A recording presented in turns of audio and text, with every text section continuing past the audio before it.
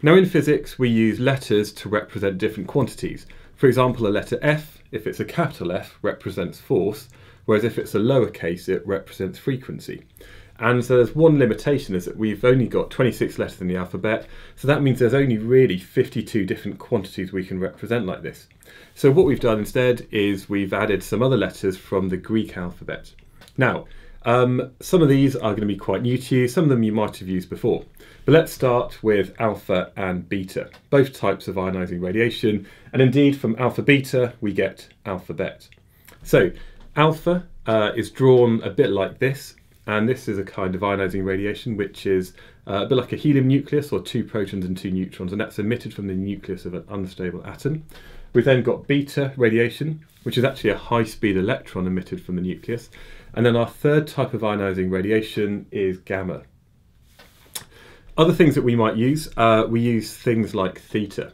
Now often in mathematics we use theta to represent an unknown angle but in physics, we can also use theta to represent temperature. We then have uh, things like delta. So delta is just this kind of triangle. And the delta symbol means change in. So it might be the change in velocity, or it might be change in time, or change in temperature. We then got rho. This is a bit like a kind of more curvy kind of p, lowercase p. And we often use rho for things like density, you know, which is the amount of mass per unit volume. We then got uh, another quantity here, uh, which is lambda. This one is like an upside down capital Y, and this represents wavelength when it comes to looking at waves.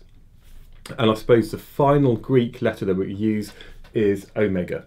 And omega represents ohms, which is a unit for measuring resistance. So really, there's these symbols here that you need to be familiar with from the Greek alphabet. You need to know how, you know, what they're called and also how to write them. So it might just be worth having a look at this and then when you come to see these as, as, you see them in equations, it's nothing to worry about, it's not super complicated, it's just we've run out of normal letters in the normal alphabet.